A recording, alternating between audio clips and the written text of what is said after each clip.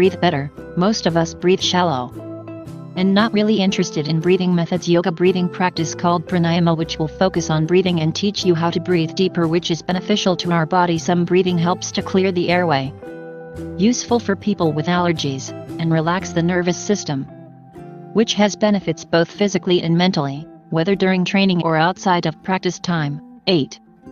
Calming the mind, yoga asana, physical yoga posture, mainly focuses on physical the main focus to what the body is doing. Resulting in your mind calming yoga can also help you get to know meditation techniques, such as how to focus on your breath, free from thought. These skills have been proven useful in stressful situations such as childbirth, insomnia, or even while having anxiety disorders. 9.